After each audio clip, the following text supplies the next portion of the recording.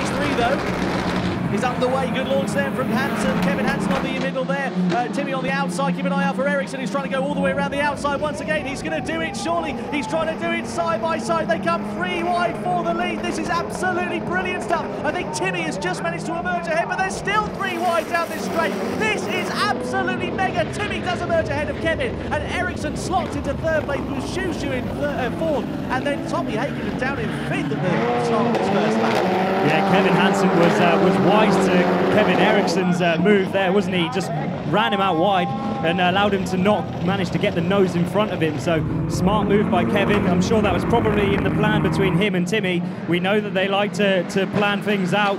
So that was probably on their agenda. We'll push Kevin out wide. He can't go around the outside, and the pair of us will go on the inside. Here's Tommy on the inside of CsuCsu for fourth place. There, nice move there from the Finn. He needs this, of course. He needs the points. He needs a good time as well to keep himself, of course, in with a good spot for this semi-final. It all is to play for here in Titans RX, and it could be absolutely crucial in the outcome after round 11 today. Double points, don't forget, all these drivers at the end of today as well, so that's going to make things pretty exciting and very unpredictable as things stand. You can still see, though, the top three of Timmy, Kevin and uh, Kevin Eriksson in third positions have a bit of a gap there over CsuCsu and Topi.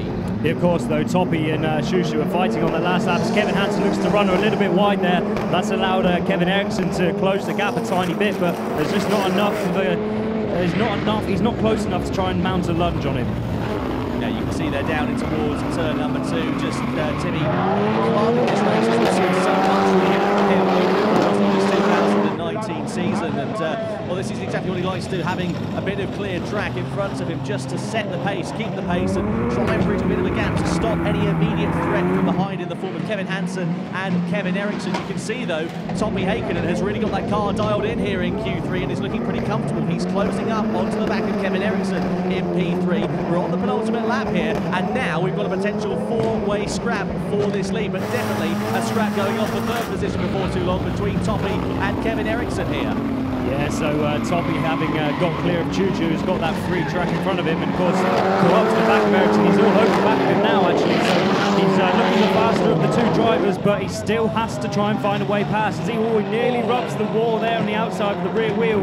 Couldn't quite get the rotation on the car early enough, so that would have uh, cost him a little bit. But again, it's still close enough to mount an attack. Final lap time here, then into turn one. Kevin Eriksson in third position. Tommy Heikkinen just trying to find his way past out of the first corner. That's one of the spots here at this Estering circuit. They're so far and few between, especially in the back section. So it's going to have to be something absolutely magical from Tommy to get it to the head here. The in third position.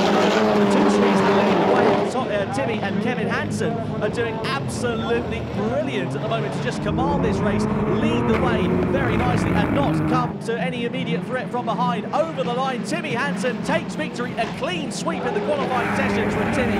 Kevin Hansen in second and Kevin Eriksson does just hold on to third position ahead of Topi Heikkinen and CsuCsu comes away down in fifth position, 4.7 seconds adrift from the rest of the field. Talk us through your Q1 and Q2 and Q3 today. No, it has been a mixed uh, qualifying for me. Uh, the, the, start was really good. Unfortunately, the track was getting a bit better and uh, times were so much quicker for the other group, but uh, that's the life. And uh, now I've been struggling a bit with the starts.